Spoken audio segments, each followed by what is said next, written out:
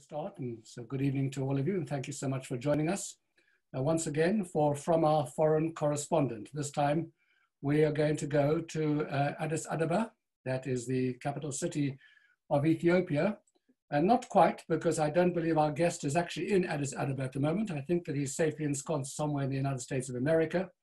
But, but just by way of introduction, coronavirus, as you know, has thrown up incredible acts of kindness, of compassion, of caring, etc., of a kind that one has not seen in the world, you know, for a very long time. Some people have actually been doing this kind of work, this kindness, this compassion for a very long time, long before coronavirus. And tonight, we're going to hear the story about one such person who has uh, an incredible story to share with us, uh, and a very brave and courageous one as well. He is Dr. Rick, Rick Hodes, He's the director for the Joint Distribu Distribution Committees. That's the uh, JDC, that the American organization that, that um, does so much good work throughout the world. And he is the director of Ethiopia's Spine and Heart Project. So, Rick, a very, very warm welcome to you, and thank you so much for joining us. As a point of interest, whereabout are you at the moment? Right now, I'm in Oak Ridge, Tennessee, in eastern Tennessee, in the United States. Oh, you're staying with a cousin because you are you are. Right. Um... I escaped Africa because of coronavirus. Uh, flew to New York. Didn't want to stay in New York for obvious reasons. And I have a cousin here in Oak Ridge, Tennessee. I had an uncle whose name was Mendel Maskowitz. Uncle Mendy married a Tennessee Baptist girl who had a kosher conversion and they moved to Oak Ridge and they were scientists at Oak Ridge National Laboratories. So I grew up coming to Oak Ridge, Tennessee all the time. And my cousin, who's a bit older than me, still has the house. So I'm sheltering with my cousin and her husband at this moment. Well, it sounds like a fascinating story that could uh, take us on a complete detour for the rest of the evening. But uh, we're going to come back to our, our topic, and I want to ask you how a, a young man who grows up, a young Jewish boy who grows up in Long, Long Island, New York, and wants to become an internist, which I think is probably the same as a GP in this country, if I'm not mistaken, you'll have to correct me. Go to medical school in Rochester, New York, and then you do internal medicine at the famous University of Johns Hopkins in Baltimore. So that's a very kind of standard uh, pathway for a Jewish boy growing up in Long Island to become a nice doctor, look after your, your well-heeled patients. How do you land up spending 30 years running a clinic in Addis Ababa, of all places? Just give us very briefly the story, Rick.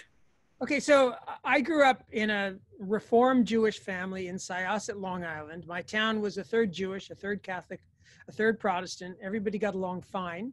Um, I didn't grow up realizing Jews were a minority because everybody knew about Jews, and you know, many of my friends were Jewish, and you know, it was just a normal Long Island life.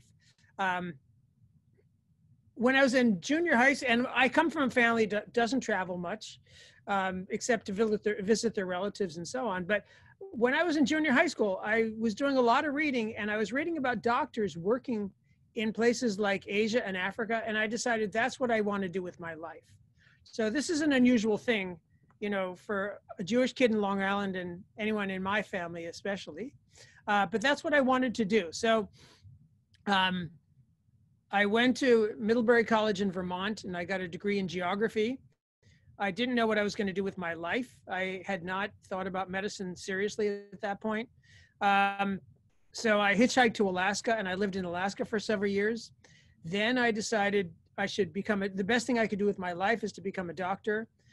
I did pre med at the University of Alaska, medical school at University of Rochester, and then I went down to Baltimore and trained in internal medicine. Um, but somehow I got this bug to do global health. And as a medical student, I spent a summer in Bangladesh.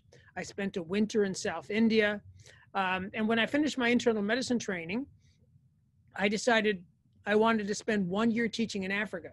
So I got um, a Fulbright fellowship and I moved to Ethiopia for one year in 1985 to teach at Addis Ababa University uh, in the Faculty of Medicine. So I was teaching internal medicine, which I think you guys call that a specialist physician, um, infectious disease, cardiology, that stuff.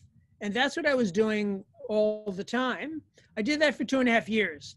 And then I was promised, promised a job with the World Health Organization. So I left and I was headed to Burma to take this WHO job. But uh, there had been a revolution in Burma and the job evaporated. So I ended up back in Washington for a while and I worked in a practice. Um, along the way, I was becoming more interested in Judaism and wanting to learn more, and I was reading on my own. When I was in Washington, I started studying with a rabbi and started going to Israel and studying at yeshiva.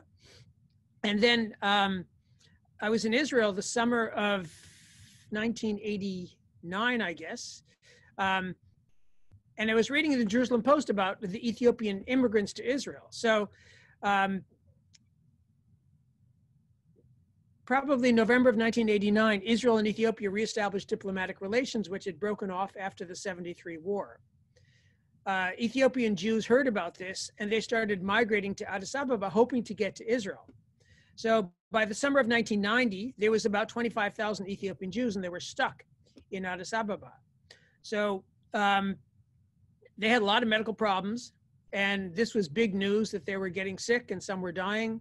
I was reading about this in the Jerusalem Post, and I wrote a letter to JDC, my present employer, and I said, Listen, I'm an American doctor, I'm Jewish. I just spent two and a half years teaching in Ethiopia. I know all the doctors in the country, um, and I speak Amharic. Can I help you? So they said, Yeah, maybe.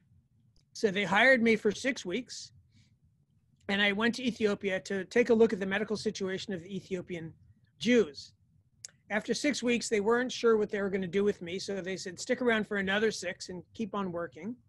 After 12 weeks, they said, well, you're doing okay, and um, the death rate is going down, and you clearly know how to practice medicine, so uh, we want you to keep on working for us. So this six-week contract that I had uh, in nine, that started in 1990 is still going on. Fantastic. And I'm coming up on 30 years with JDC. So I was the doctor for the first, the pre-Operation Solomon um, Mivtza Shlomo, when on in May 24th, 25th, 1991, 14,400 Ethiopian Jews were evacuated overnight to Israel.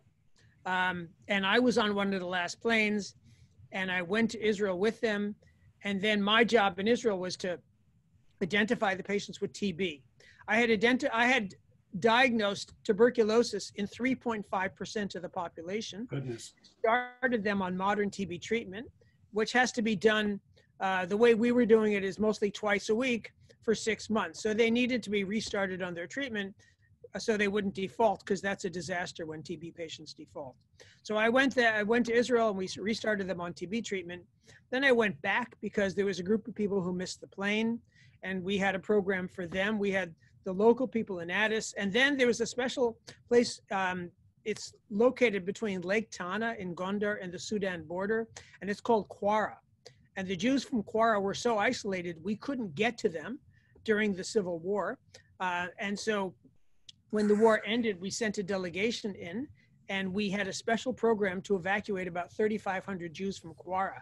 These were so isolated, these people, they had never seen a white person before. So when they first saw me, they said, We didn't know whether you were a human being or not. Amazing. They said, they said Your hair, this is not human hair. This is cat hair. Or this is funny, goat. funny, funny, you don't look Jewish. I know. and they said that to me. They said, We've never seen a white Jew. And I said, Well, a lot of people have never seen a black Jew. Um, on the other hand, these people, they kept Shabbat, they kept Kashrut, they kept Nida. I once, one, I once said to one of these women, Have you ever eaten non kosher meat? And she started shaking and she said, Has it ever happened that a Jew ate non kosher meat? Like, like it was an unbelievable thought. Yeah, they're first temple Jews. Yeah, I said, well, you know, it happens. so just just moving on a bit, Rick. Um, just so you, you land up um, remaining in in Addis Ababa. Uh, just tell us a little bit about some of the, the conditions that you live in. Tell us for a moment just about the, the Jewish community, what life is like there. I mean, you're a Dati person. Um, I know that you run a big open home on Friday nights, etc. What sort of infrastructure is there? With uh, I mean, you've shipped off um, most of your Jews, you know, so who's, who's left? What do you do? So um, the numbers of Jews has always been a bit unclear. Uh, Israel is now 1.5% Ethiopian. So uh, there's Ethiopians everywhere. Um, we in Ethiopia are now dealing with the remnants of the community who were converted by a, a British guy named Henry Aaron Stern. And there's the remnants of that community still around. I myself have a Jewish house in Ethiopia.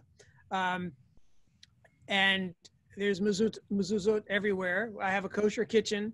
Uh, the house, we actually don't eat meat and it's a vegetarian house. I myself am vegetarian all the time, but the house is vegetarian so that if somebody is more strict than I am, they, they would feel comfortable eating there. Um, I have a very good Christian cook who lives in the house and she knows how to run a Jewish house and she knows how to clean for Pesach. Um, is there a synagogue? Are there services? Are there? So, so we have. There's an ancient Jewish community for a couple of hundred years. Uh, the Jews from Aden in South Yemen. Um, Aden used to have 10,000 Jews. Aden was historically the end of the telegraph line to London.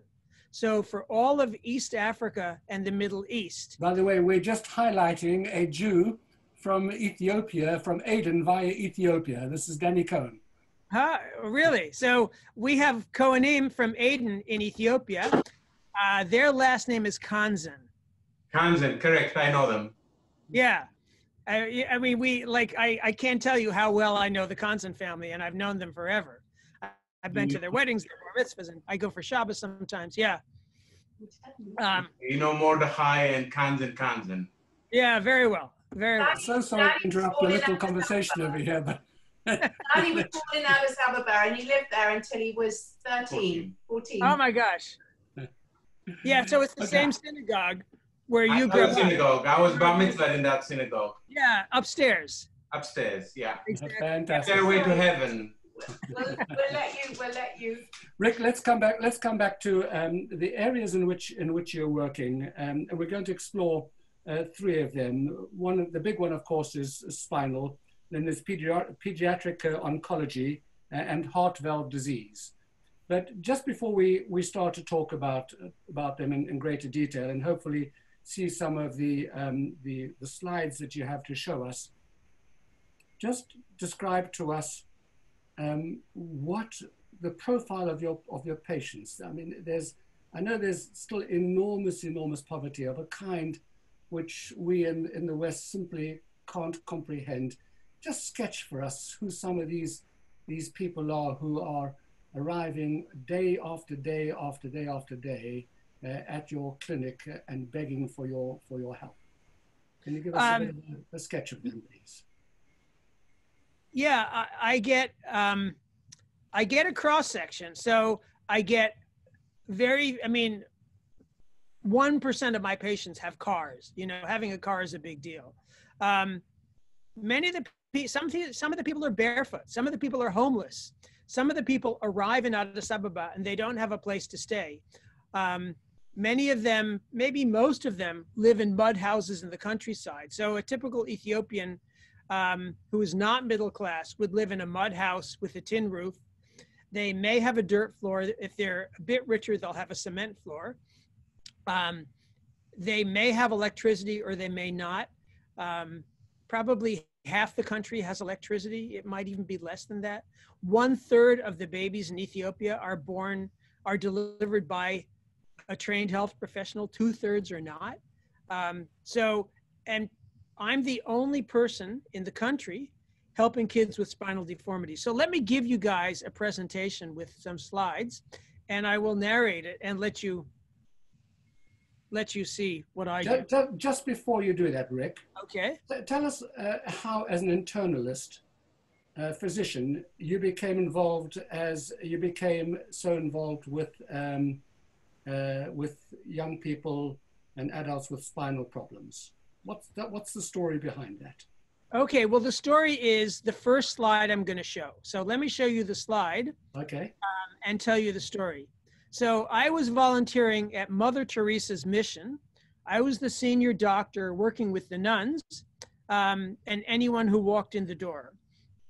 And so I was treating the the average any anyone who the nuns asked me to treat. Well, one day these two guys walked in the door. Rick, Rick, we're not seeing your slides.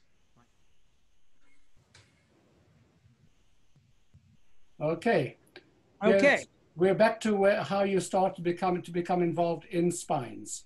Right. So in 1999, I was seeing patients at Mother Teresa's mission, and these two guys were admitted.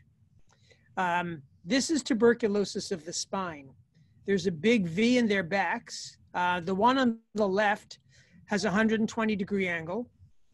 The one on the right has a 95 degree angle. Um, the natural history of this is that they are still growing and it's going to get worse and it can crush their lungs and also crush their spinal cord um, which is terrible for many reasons. And so they could end up paralyzed and dying quite soon. So i wanted to help them. And i could not get anyone to operate on them. So they were sort of ticking time bombs in front of my eyes and then I got this brilliant idea. I could adopt them, add them to my American health insurance, and get them surgery in the United States. Now, the problem is when you adopt an Ethiopian orphan who doesn't have any relatives, they become yours for life. So, on one hand, I could save their lives. On the other hand, we'd have to spend the rest of our lives together. So, did I want that much permanence in my life? I, I actually didn't know the answer to that, but I had this idea. So I was walking along one day and I looked up at the Almighty and I said, literally, I said, What do you want me to do? And a few days later, and I'm not like one who just gets, you know, messages from Hashem, unfortunately, but a few days later, he like sent me a fax to my brain and it became 100% clear. And the answer was this I'm offering you a chance to help these boys. Don't say no. So I said, okay. So I adopted them, added them to my American health insurance. And like every single step is difficult, believe me. Brought them down to Dallas, Texas, and they ended up having surgery in Dallas. Next picture.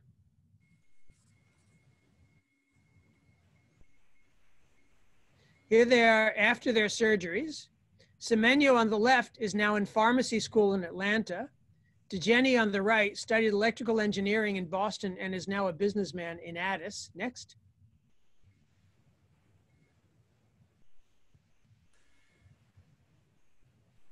This is a real picture. Um, I sent this picture to the spine surgeon with the caption, spinal stress test successful. If anyone wants to try this with your son um, or your friend, I don't know, uh, the person on my side has to weigh about 20 pounds more than the other one. Um, so they were my first two spine patients. Another spine patient came along and I adopted him and repeated the process. But serial adoption, it's probably not the answer to spine disease. So I needed to come up with a better solution. And I do have a better solution, and it has an unusual name. His name is Oheneba Boachie and you will see him in a few minutes, but let's go to the next picture. This is a boy named Ali Muhammad. Ali came to us at Mother Teresa's mission. Next. This is a big soft tissue tumor. This is called Burkitt's lymphoma. And I canceled my vacation because I was the only one who knew how to treat this to the extent that anyone knows how to treat this. I came up with a recipe based on what we had, what we could find in the stores, and I started treating him. He is a Muslim orphan, speaks the language called Oromo. His mouth was getting smaller and smaller. It was going to crush his mouth and suffocate him within weeks. Next picture.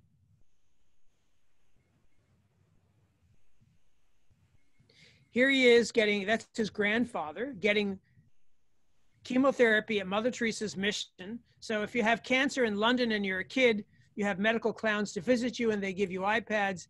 At Mother Teresa's, you get a very comfortable bed and you get a bucket to vomit into, and that's it. And he was perfectly happy. There he is. Next.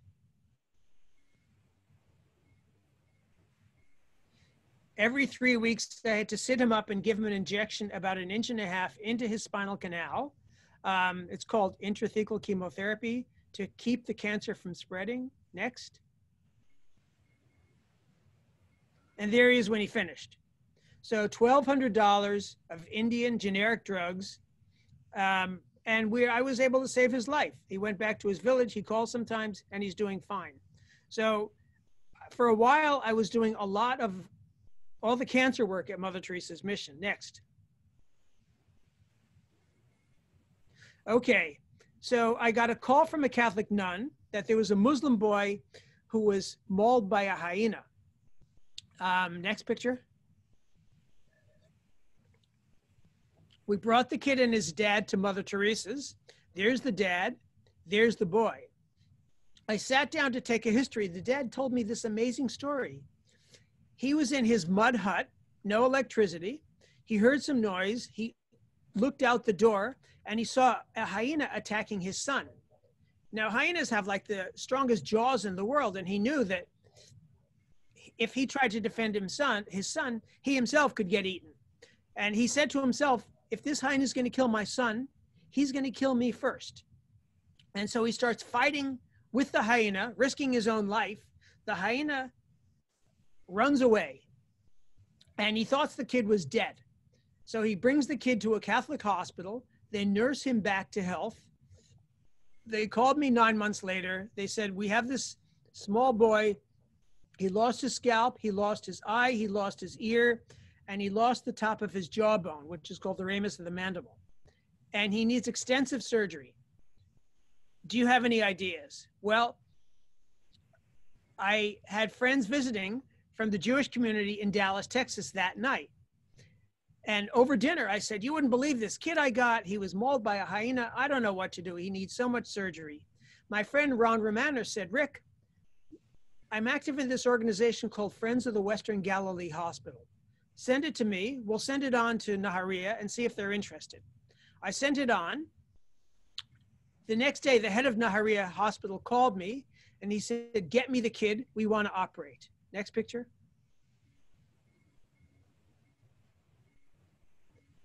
So we go to, we get him a passport, we get him an Israeli visa. Now, the Israeli ambassador to Ethiopia was herself Ethiopian. And so we were at the Israeli embassy. She phoned me on my cell phone saying, Come on into my office when you finish. We went in, we sat down, we had tea with her, speaking in Amharic. And then she said, um, hold on a minute. She left me where she is and she went into her house. She came out five minutes later with two pairs of pants and two shirts. She said, I have a son the same age, same size. Here's some clothes for your son to wear while he's in Israel. So on the way out, this Muslim gentleman said, Doctor, what kind of ambassador gives you clothes from her own kids? And I said, A Jewish mother. So uh, that was his introduction. Next picture. Here we are at the airport about to put them on the plane. I said to him, How do you feel? And he said, I'm nervous. And I said, Why? And he said, We're afraid of Israel. And I said, What do you mean you're afraid of Israel? And he said, In my village, when we want to insult each other, we don't say go to hell. We say go to Israel because Israel and hell are the same thing to us. And I said, Don't worry, man, you're in good hands. He went off to Israel, spent nine weeks in and out of the hospital. Next.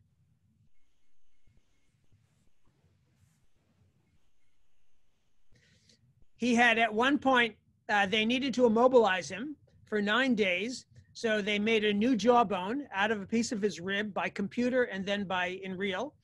Um, he was immobilized. Um, the respirator was breathing for him. He was being fed through his veins. And the dad was told, Your son is going to be asleep for nine days, and then we're going to wake him up and he's going to be okay. Now, the dad knew this is impossible. It would be the equivalent of me saying to any of you folks on the call, I'm going to send you to Mars tomorrow morning, and you're going to be back in a week and you're going to be fine. Like you just know this cannot be done. The dad stayed in the room except to go to the mosque, except to go to the bathroom. He was there, just looking at his son, convinced his son was dead. And when he tells the story, he says, and then after day, after nine days, his soul returned to him. And the word for soul in Amharic is nefs. So he oh, said the nefs, yeah, the nefs returned to him and he woke up. And so this guy now thinks Israel is the most fantastic country in the world. He came back with more clothes than Imelda Marcos owns. And he was on Israel, Ethiopian television talking about the amazing care he got in Israel. Israel could not pay a million dollars for this publicity of this poor Muslim guy mauled by a hyena who got the most amazing care in Israel and then went on Ethiopian television to tell the whole country about it in great detail. So this it turned out extremely well. Next. There he is. Next. Okay. Uh, it says in the Talmud, mitzvah gorerit mitzvah. Now I'm going to tell you an amazing story. Next. Okay, this is a woman who doesn't, she happens to be Muslim. She doesn't normally wear a burqa, but I bought her her first burqa and we're getting on a plane, or here we've just gotten off a plane in Minneapolis, and she's wearing the burqa. Why is a Jewish doctor buying a burqa for my patients? Next. Okay, some of you can read CAT scans, probably not the majority, but this is the brain sliced um, down the middle, and the stuff on the the white stuff, the white line going down is the spinal cord.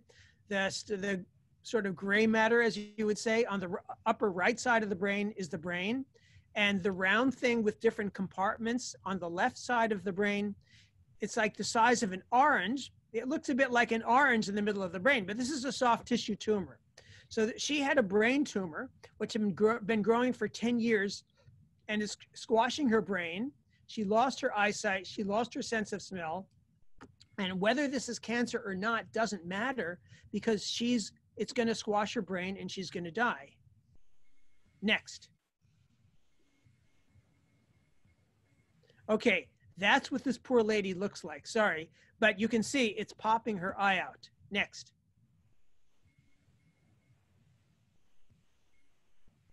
Okay, why is this lady alive? This lady is alive because I put on tefillin every day. How is that possible? Okay, I I'm sure many of you put on tefillin every day. I put on tefillin this morning. I didn't save anyone's life. Um, but I was in Minneapolis, Minnesota. I set my alarm. It didn't go off. I woke up at 10 to 8 and I had to be out at 8 o'clock. So, you know, this happens to all of us sometimes. You throw on your clothes, you brush your teeth, you run out the building. And I put my tefillin in my backpack. After my first meeting, I said to the guy taking me around, you know, let me do shachar properly take me to a synagogue. He took me to a Haredi synagogue in St. Louis Park. I walked in and I started putting on tefillin and I said hello to the guy sitting next to me. And he said, hello. So I said, I'm just talking to some guy in synagogue. And I said, what do you do here? And he said, oh, I'm a doctor. And I said, oh yeah, what kind of doctor? And he said, he had no idea who I was. And I said, he said, it's very specific. It's called skull-base neurosurgery. I'm a brain surgeon and I concentrate on the bottom of the brain. So I said, Oh, that's interesting. I do tropical medicine in Africa. Let me show you something. So this is November in Minneapolis, which is really cold. I didn't want my computer to freeze. So I opened up my computer in the synagogue and I start showing him the scans of this patient. And he says, Oh my gosh, I've never seen anything like this. After synagogue, after services, we stayed in touch. I sent him all the scans and he said, I really want to help this woman. Because of that meeting in synagogue, I brought her to Minneapolis six months later, a lot of planning, and she had a full day surgery by a skull base neurosurgeon, a cranial facial surgeon, an oculoplastic surgeon. And next. Here she is. So this is a Muslim orphan raised by Catholic nuns at Mother Teresa's mission, getting free surgery at St. Joseph's Hospital in St. Paul, Minnesota, by Dr. Eric Nussbaum and his team. If you had said to me the day before, Rick, make sure you put on tefillin properly tomorrow because you're going to save the life of a Muslim woman. I would have said, no, that is absolutely impossible. But that's what happened. And my only intention was to, to do a proper shachrit, and it ended up saving the life of this patient. So if you ever have uh, some. Hang on a second, Rick. So you, hang on. So you have, you have a Muslim patient in a Catholic hospital being treated by Jewish doctors. Yes. Is that called tikkun olam or something? Something like that. okay. So if you ever don't don't know what's going on or you have some question in your life, go to synagogue, put on tefillin, say hello to the person next to you. You never know what it's going to lead to. Next. Okay, this is a guy named Tesfai. Next. Tesfai is a poor guy who was illiterate. He came in like that. Literally, his spine was horizontal on top. This is a combination of tuberculosis of the spine and ankylosing spondylitis. Next. It's really not compatible with life because it's crushing his lungs. That's his CAT scan. So that actually doesn't look like a human being. That looks like a reptile. Next. I wanted to help this guy, and it was before we had the capacity in Ghana. Well, I have a wonderful donor named Gary Siegel in Vancouver, British Columbia. Gary worked for a year and he got Tesfai accepted, and Gary helped fund this at Vancouver General Hospital. We flew Tesfai over to Vancouver. Next. There's Dr. Marcel Dvorak, the best spine surgeon in Western Canada. There's Gary. There's Tesfai. Next. Tesfai had a huge surgery. They rebuilt his back. Next. He lived in Vancouver at Gary's house for six months. There he is after his surgery. Next. And he just graduated from university in Addis Ababa and he's working on starting a business with Gary's help. So um, Gary Siegel is an amazing guy, and Gary changed my life, and I changed Gary's life. And when I, when I when I give speeches about Gary in front of other people, I say Gary doesn't just write checks, and then I say, and I love people who write checks. Gary opened up his home, and he had Tesfai living in his house for six months, and he transformed his life, and then he's raised a huge amount of money to keep us going as well. Now I'm going to tell you a story about two brothers. Next. This guy walks into my office, these two boys. Okay, the guy on the right is a 32 year old priest. And anyone in Ethiopia, this is like the typical guard of a priest. There's hundreds of thousands of these um, Ethiopian Orthodox priests. Ethiopian Orthodoxy is a fascinating religion. It's the religion in the world closest to Judaism, the Christian religion in the world closest to Judaism. They have something of a Saturday Sabbath. All the men are circumcised. Um, they follow Jewish dietary laws. It's it's they talk. They don't. They, when they bless each other, they bless by Yisrael Amlach, by the God of Israel. So we feel right at home. They actually don't. They don't realize that we don't believe in Jesus, and they think that we are somehow part of them.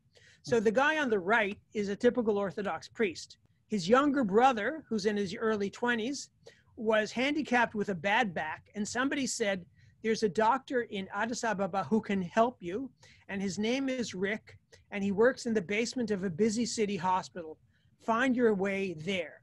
So the, the brother says to his wife, We don't have $20 to buy a bus ticket to Addis Ababa.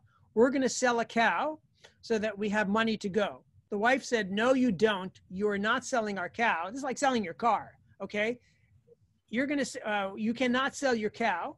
So um, find a different way. So they said, Okay, we'll walk. So here they are. They walk into my office and I looked down at their feet. Next. And I said, gee, your shoes are in bad shape. And they said, we walked here. And I said, the bus station is eight miles away. They said, no, no, no, we walked from Gojam. That's 250 miles. So then I said, 250 miles? where did you sleep at night? Because we all know there's hyenas in the countryside. You don't sleep out in the open. And he answered me with this phrase that we understand. It's hardly ever been written about, but they call it Xavier Engida. Xavier Engida means guest of God. And he just said, Xavier Engida, guest of God. But what that signifies is a whole hospitality system. And so in the Ethiopian countryside, you knock on any door in a Christian village and you say, Xavier Engida, I'm a guest sent to you by God. And they will automatically be honored, open up their house, invite you in, cook you dinner the way you'd cook for a guest, give you a place to sleep, and it may be on their dirt floor, give you a basin of water and soap to wash your feet, and then show you out in the morning. They did this eight nights in a row. Nobody said no. And the Muslims have the same system. They call it Allah Engida, guest of Allah. So it's, you know, people think, oh, this is Africa, people are primitive. Look at this amazing kindness. This is Abraham. Uh-huh. This is out of this is out of the Tanakh. So they walk into my office next. And here's the guy. Next. That's his back. Next. There he is. Next. You can see what his spine looks like. Next. Okay, stop right there. So we sent him off to Ghana. He and I'll talk about this. He went into traction. He had traction. He had surgery. He came back. Um, he finished. He was a design student. He finished his design course. He's living in my house in Addis Ababa, and I'm living in Tennessee. But I spoke to him the other day and I said, What are you doing? And he said, I opened up a factory. And I said, What do you mean? So one of my one of my donors gave me money and we bought him a sewing machine. He's turned my living room into a mask factory and he's making masks and he's selling the masks for it costs him a few cents to make a mask. He sells them for a dollar each. And he said to me, the only reason I'm alive and doing well is because of you. You get half of the money that I make from masks. So this guy who would have caught pneumonia and died because of his compressed lungs is now an entrepreneur living in my house making masks to go fund surgeries for other patients. Next.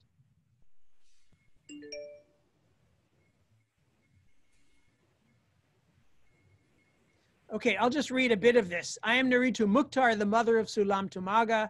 I've been informed in detail about the difficulties of Salam's condition.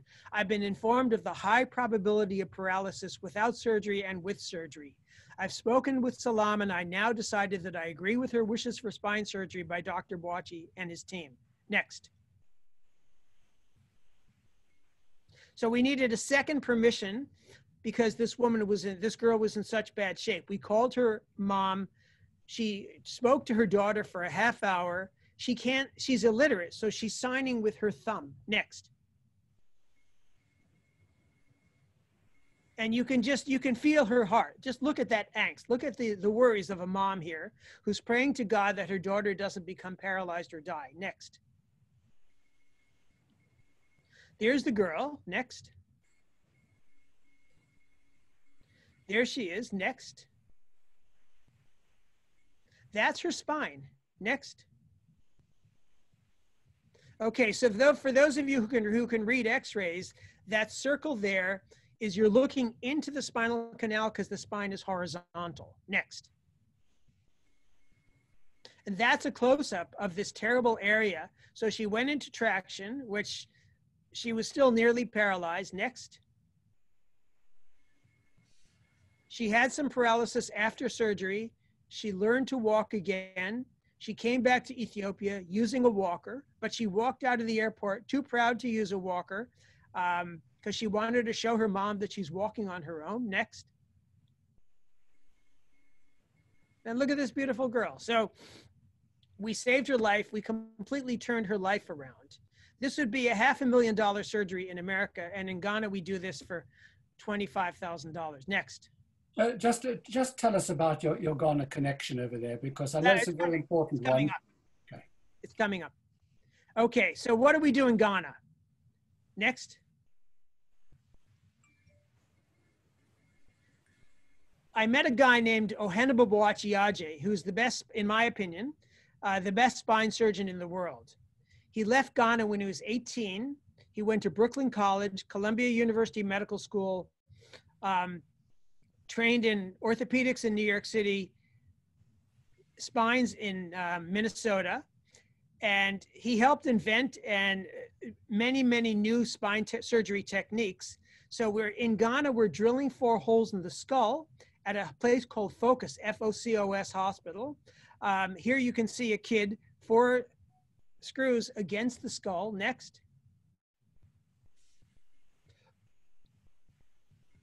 And this is a world's record picture because there's nobody else in the world except Dr. Boachie and I who are doing this on a mass, mass scale. In Manhattan right now, there is probably one patient in all of New York City in traction. And when we send a group, we end up with 20 kids in traction. So there's a spring system, there's a pressure gauge. You put them, you start off with five pounds of pressure and you're pulling them up. Um, then they go up to about half their body weight over a three week period. And we leave them that way for several months. We hope to get about a 50% correction. And then Dr. Boachie and his team goes ahead and they operates. Now, what do we do as human beings all day long?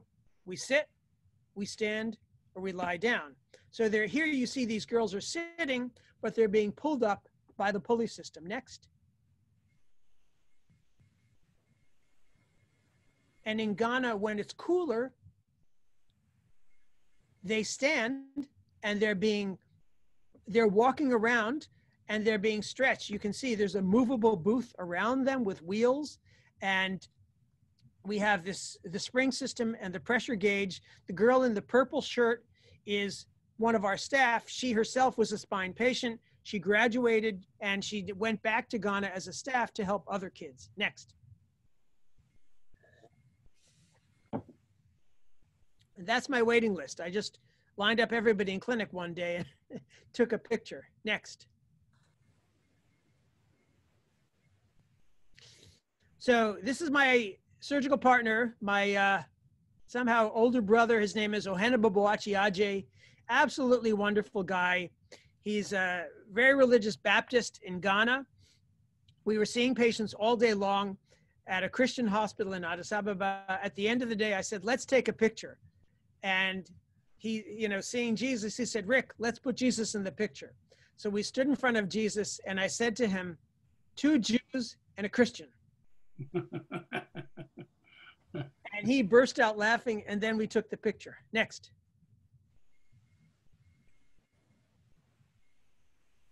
And that's our kids. The kid with the Jordan 23 is an orphan who uh, got successfully got surgery and now I'm his legal guardian. The one on the far right with the, with in the wheelchair, uh, he came to us completely paralyzed. We sent him and his mom to Ghana and uh, he had a spinal cord tumor removed. Now he's walking and he's okay. Um, and this is what we're doing. We're turning the lives around of these people. And, and Rick, Rick, you, you, you've um, adopted five, five yes, uh, young people. The that's oldest true. being being how old now? Now he's in his 30s. He's the one who's in uh, pharmacy school. Right. And, and the others the still living with you in, youngest is in his 20s. He graduated from university last year and he's now doing marketing for Yelp and living the life of a, a Jewish hipster in uh, Brooklyn, New York. And the others? The other ones are doing different things. One's a teacher, one's a businessman, one is working for working on government contracts. So yeah, they all have their own lives. And tell us about Mar Marilyn Berger's uh, adopted child. Oh, so Marilyn Berger is the wife of Don Hewitt, the widow of Don Hewitt, the producer of 60 Minutes. Marilyn came out to Ethiopia to write an article about me for Reader's Digest. Um, and while she and her assistant, her assistant was Chloe Malle, the daughter of Candice Bergen and Louis Malle, uh, while they were walking to Mother Teresa's mission to see me, they met a kid begging in the street who had tuberculosis of the spine. So we tracked down this kid and we treated him for TB of the spine and got him surgery in Ghana. Fast forward, he was adopted by Marilyn, um, and he's now living in in New York. And uh, he should have graduated from high school about a week ago. So I need to call Marilyn make sure that, you know, he was uh, also like out of school because of lockdown and so on. But he's doing okay. Thank you for asking. So Marilyn tells a story in her book, This is a Soul, uh, the book that she wrote about you. And she tells the story that when she comes to your, she comes to this crowded, this crowded room, uh, and apparently you don't have a booking system. It's not as if there's some sophisticated NHS arrangement where people book, you know, online, etc. They just kind of turn up and sit over there, and you you see everybody every day. Yeah. Apparently. Yeah. Yeah. I want to see everybody on the day they come, at least for a moment. Okay. So apparently, uh, she says that, um, she watches you at work, uh, and uh, you take a photograph. Um, because obviously you want to be able to see, you know, the condition, and you might want to have um, some X-rays taken or CT scan or whatever. But she's a bit puzzled why you take a photograph of their uh, of their faces, and then you send when you send the photographs across to your network of colleagues around the world, you send them the person's face, and the, some of these people ask you, well, why, why do we need to see that? I mean, you just send us the photographs that we need to see, show us the you know the problem. So, just talk us through why you take a photograph always of the person's face. So that's a very interesting question because even if I'm sending a chest x-ray, if I have a question about a chest x-ray and I'm sending it to an, a radiologist in America, I will also send a picture of the patient. You know, and these are radiologists who read x-rays all day long. They don't get to see what patients look like. But somebody said, why do you do that? And I said, this is a human being. This is a soul. This is not just an x-ray. This is not just bones and lungs and I want them to see that this is a, a person with a face like the rest of us. And there's even a study from Israel where when radiologists got a photograph of the patient along with the x-ray, the quality of reading the x-ray, the accuracy of their diagnoses increased. So it's nice to put a human face on it and not just say, you know, this is an x-ray. And that's why she writes, uh, she calls her book, This is a Soul. Yeah. Because that's the essence of what you're doing, isn't it, Rick? I You're not dealing with medical problems, you're dealing with human beings and giving them a life. I try. Yeah. So, um, what's your structure and network? I, I know that, you know, I'm a bit puzzled because the Joint Distribution Committee, as far as I had always understood, was an organization that uh, sort of gives out a lot of money to, you know, to help people. And I know that um, they don't give you any money. You've got to go and raise it all yourself, all $2 million of it a year. Um, sounds like um, they learned something from Chabad. You know, they do the same sort of thing. They throw a guy out into some forgotten part of the world and say, go and raise your own money. So uh, what's, what's your structure? What's your setup? What's your networking over here? How does it all work? So we're sort of a branch of JDC, but we are self-sustaining. Um, so we get infrastructure from JDC, but we don't uh, we don't get a lot of money, and we work to raise our own funds and keep going to help our patients. And my donors how much, are how much of your of your precious time, your precious time that you could spend in front of patients, is spent traipsing around the world trying to raise money. um, 25%. Well, I mean, now I'm in the States, so I don't have time. I'm not seeing patients, so I have more time. But in Ethiopia, maybe 20%. But I make trips to the States all the time and I speak to groups. And, um, you know, this is a wonderful opportunity to, now that we're all getting used to Zooming and things like that, I don't have to physically show up in London um, to present what we do and to try to get people interested. Yeah. Let me talk to you. I, I do like sometimes I speak to medical groups and just giving a pure medical talk. Uh, Nicola Rosenfelder, who introduced you to us, and thank you so much for that, Nicola, um, and for this very you know, inspirational, inspirational opportunity to hear from you. Um, and here's Nicola and her, Mike and the family. Ah. Um, told me that uh, you kind of like self-taught yourself around the oncology business, and she describes how on an occasion when she visited, there were you had a couple of your patients sitting on your veranda with some kind of mocked-up chemotherapy arrangement that you had set up for them in the absence of any kind of real drugs or, or facilities, etc. Uh, how, how does all of that work, Rick? So when I started out, you know, there's there's a lot of bone cancer in Ethiopia, And the data on bone cancer is something like if you only amputate the knee, which is, you know, you amputate above the knee, um, then survival is going to be about one third. But you can increase it to about 60% um, if you give amputate and you give chemotherapy. So I needed to give chemotherapy. When I started out this, there was no place to give chemotherapy. So I moved two patients, two boys, into my house to give them chemotherapy. I put a, a bed on my front porch. They, there was one bed, so their, their heads were on opposite sides and their feet were overlapping. And I had the cisplatin doxorubicin hanging from my drain pipe with dental floss. Um, and I had, and I used completely sterile technique and was giving IV fluid and giving them their chemotherapy. Um, and so aluminum foil. Uh, yeah, exactly. You need to use aluminum foil because uh, one of them, the the doxorubicin, is sensitive to the light, so you need to cover it. Yeah. Mm-hmm. And it worked. Yeah, it worked. Yeah. yeah. And so, what percentage of your patients are you dealing for? What are you doing in relation to cancer these days? You've got this amazing arrangement with Ghana in terms of spine and spines, uh, and occasionally to to America as well. Uh, what about your oncology patients? Where do they go? So um, a friend of mine, one of the two boys, um, the two boys did. One of them is still Muhammad, named Muhammad is still alive. The other one had a recurrence, and I was able to send him to Washington D.C. to a friend, and she he had further chemotherapy, and he lived for several years.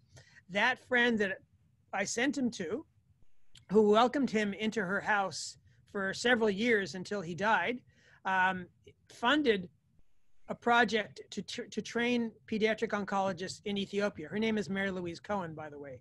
Um, and so when I have cancer patients, I don't have to treat them myself anymore. I send them to Mary Lou Cohen's project, um, Mary Louise Cohen's project. Um, and what, what are you seeing in relation to the third, uh, the third area of your activity? Because your um, formal, um, uh, your formal uh, title is um, Ethiopia's Spine and Heart Project. So talk to us right, a little bit so, about so, what you're seeing in relation to heart disease and how you're dealing with it. So in Ethiopia, um, we have a lot of, now there's a rise in heart attacks, but there's still a lot of rheumatic fever from uh, strep infections and congenital heart disease like holes in the heart and tetralogy of Fallot, which is untreated. And so I wanted to help them. And so we were raising money and we sent our pay I, I, at one point somebody gave me a small grant i went off to india and i went heart hospital shopping and i found a wonderful hindu hospital in cochin. And so we send our patients to a hindu hospital and they get surgery there. Uh, the cost of replacing a mitral valve is about $6000 the cost of a balloon ballooning open uh, a mitral valve is about $1600 um, this is less than, far less than 10% of what it would be in the United States. And so when we have money for hearts, we send our patients to India for that. It, it, so happens that we have a cardiologist from South Africa who's watching the program this evening that I know of. Uh, and you might want to um, make a connection with South Africa because it's a lot closer than the United States sure. of America. And we're slightly related, by the way. He happens to be my wife and my son. Oh, wow. So there is a connection there to be to be explored for your for your heart patients because South Africa is pretty sophisticated in its, uh, yeah. its yeah. Well, okay, this has been you know a really fascinating and, and wonderful and wonderful uh, interview. Um, I want to to bring it to a close by referring to um, something that um, I found really very very inspirational indeed. And I want to take you back to 1994 in, in Goma, Zaire, which is now the Democratic Republic of Congo. Um, this was, uh, there was, you visited a refugee camp where there was an outbreak of cholera. Uh, and this was a result of the, from the Rwandans who were fleeing, fleeing genocide. Uh, and you knew that people were dying left, right, and center. As a matter of fact, even to get to the camp, you had to go on the back of a truck that was um, used for carrying dead dead bodies. Uh, and before le leaving Addis for Goma, you had this big question about who to treat and who to let go, because clearly you couldn't, you know, there had to be some, some form of, of, of uh, priority in, um, you know, who you treat first. So you asked a sha'ela, you asked a question to a, a rabbi you knew in Los Angeles, who in turn referred to the question to a specialist rabbi in Philadelphia. And shortly before you were about to set off for Goma, you received a fax with the rabbi's answer. Uh, and I wonder if you can just share with us um, what answer you received about how to prioritize life. So my question, you know, I worked with cholera as a medical student in Bangladesh. And I know in cholera epidemics, which is a massive watery diarrhea, you have a lot more patients than you can handle. So my question was, who do I treat first? Who do I treat second? Should I ignore people who are 70 years old because they've lived most of their lives? And should I give priority to the mom? Should I give priority to the kids? I didn't know what to do. Um, and I thought, well, let me see what a rabbi has to say. So I asked, um, and they sent me back this answer. And the bottom line was, I should not decide who to treat first and who to treat second. I should treat whoever comes to me in the order they come to me in, or whoever I see in the order they that we come who comes to me. So my team and I would fill up with water and IV fluid, and we go out into the camps, and we'd be like a 100 feet away from each other. And we just go step by step by step, plugging in IVs. Um, I do something called peritoneal hydration and giving oral rehydration and trying to rehydrate these patients one by one in the order that they came to us. And that worked as well as anything. So the rabbi said, um, all life is precious. Treat them in the order in which they come to you.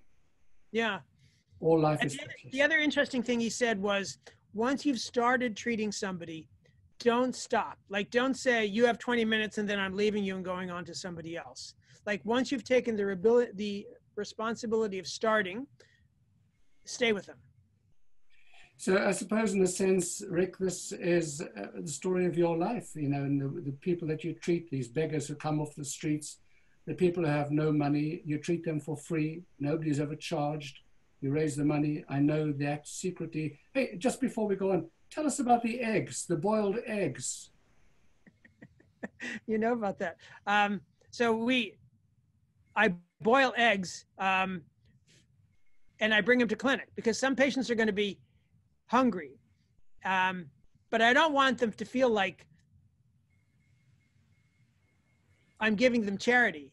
So I say to them, will you do me a favor? I have so many chickens in my house. I wake up in the morning and there's eggs everywhere. Take some of these off my hands. Like, we're swimming in eggs. Take 10 eggs. And like, for them, it's such a treat to get 10 eggs. Um, and then I had one guy who was a very malnourished boy with tuberculosis. And he was at Mother Teresa's mission. And I told him he has to eat five eggs a day. Um, and I said, we have this idea if if a chicken is big, we call it a farange chicken, which means a white a white person's chicken. Um, and I said, I'm going to order you eggs from my farange chicken. And so the next day when I brought him eggs, it had his name on it in English. And I said, our American chickens, my chickens come from America and they speak English and they can, when you order it, it comes out with your name on it and the, and my Ethiopian chickens, it comes out with your name in Amharic. And so we gave him smaller eggs from the Ethiopian chickens and bigger eggs from the American chickens um, with his name on it. And we said, this, this is laid just for you. and just while I just remember it, just tell us the, the story about this young man who um, was offered um, either amputation because of cancer uh, or this, this person had this extraordinarily distorted body with his knees pointing backwards and the most terrible, terrible physical disability. And he would have to undergo a, a, a mass of, of painful operations, one after the other. And this is very recent. This happened just before coronavirus struck. Just very quickly, and before we finish this evening, tell us this inspiring story of, of a young man's courage. So this is a guy named Andabet. This is on my website. This is public information. He walked into my office maybe about a year ago now. Um, he he had heard that there he has knees that go out at 45 degree angles. He has 13 fingers. He has 12 toes. Um, he's very he has some genetic situation called Ellis van Creveld, um, and he needed extensive surgery. And I found one place that would be a fantastic place that could do it and do it for free. So I know one of the junior doctors there, and I approached him and I said, um, What are my chances of getting my patient accepted? And he said, The problem is they end up with, they have holes in their hearts and they have extra kidneys and things like that. We end up with all these other problems that we have to deal with. So we don't like that. So I said, Okay. Uh, when I did the workup, I made sure he had no other problems. I made the application. They accepted him he and I flew in February from Addis Ababa. This is a guy who had never been out of his village. We got him a passport. We flew together to New York. We spent a few days in New York and then we went on to Dallas, Texas, found a wonderful Ethiopian host family. He's now in the hospital. They offered him two choices. One is to amputate at the knee and get a good prosthesis. It's Zoom from the shul about this amazing doctor. so you need Charles, Charles,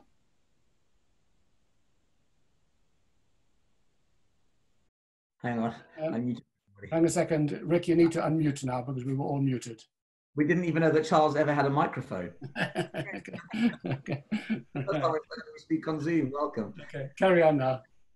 So it turns out um, he had a choice between amputating at the knee and getting a good prosthesis or undergoing two years of painful surgeries to realign his legs because his kneecaps are on the side and you need to move them obviously to the front of the knees. And he said, no, I want my own body. And he opted for, for surgery. And so he had the first of the surgery um, about two weeks ago, and it was on a Thursday. During the operation, the governor made the announcement no elective surgeries um, until coronavirus is finished. They had already started his surgery so they could finish it. And so he's now in the process of getting, and he can, he can now it's not elective anymore because he needs to have further surgeries. So they were they did the first surgery exactly the last day, um, and he ended up being uh, he's on he's on the process to get well. He was in a lot of pain for a while. Now he's in less pain, so he's doing okay. Mm-hmm. This is a very courageous boy. Very courageous. That is that is real courage.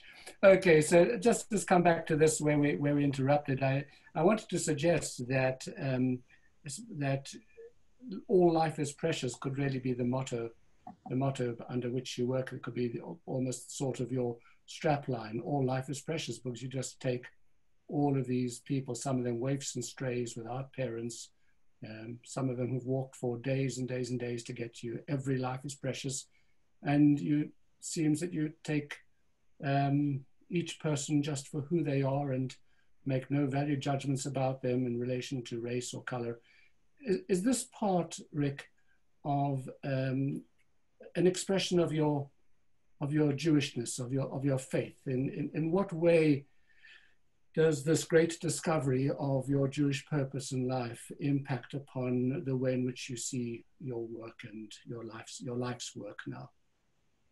Um, you know, I'm I'm an observant Jew, and so Judaism is sort of everything to me. I mean, like you know, I, I live by the Jewish calendar as we do, and um, I put on tefillin every day, and I do Shabbat, and the, these people know that they're being helped by a Jewish doctor and by Jewish donors, and um, it, you know, it it gives me purpose in my life, and I just I I, I love it. Are you lonely? No, I'm tired. I'm not lonely. you obviously work very long days. What time do you start? What time do you end?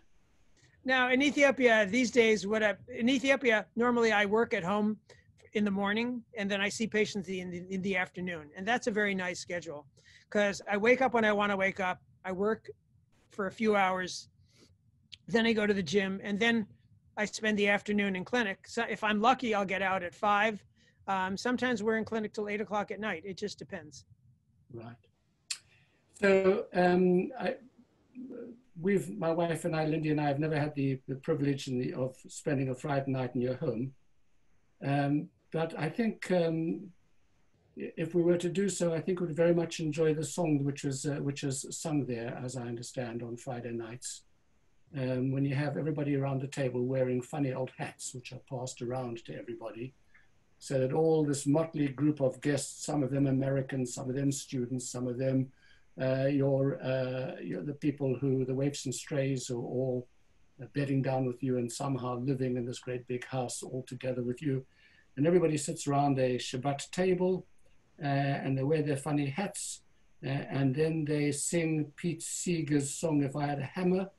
Uh, and everybody sings together, I'd sing out love between my brothers and sisters all over this land. Uh, is that still sung every Friday night, Rick? Every Friday night. Yeah. We started that. There's a there's a book called The Family Participation Haggadah, and I was planning Pesach, and we did it during Pesach, and then we just liked it so much we decided to make it our song, and we do it every Friday night. We do and Shalom that, Aleichem after that, but we and that's we start off your teeth. Then I'd sing out love between my brothers and sisters all over the land, and that's indeed right. what you do with your life. Right. Rick, thank you so much for spending time with us. I know there have been people who've wanted to ask questions, but we've gone well over time because it's just been so very, very fascinating. Uh, can I say to all of our all of our participants and viewers tonight, this is not a fundraiser, and it was never intended as a fundraiser. But you've heard about the incredible work that uh, that Rick does, and that he has to fund it himself. If there's any any of you who uh, have an interest in supporting Rick in, in his work, and he's not asked me to say this, I'm saying this of my own volition. But if there's anybody who would be interested in supporting this or know people who would be interested in supporting this, it seems that you're supported in the main by Jewish philanthropists around the world, Rick. Uh, you just need to contact either Nicola or me and we'll put you in touch uh, with, with Rick and his, and his organizations. But in the meantime, Rick, thank you so much for spending your special, precious time with us. And we wish you good, good fortune and continue to save lives in this very, very special way. Thank you very much. And as we say in Tennessee, sei gesund.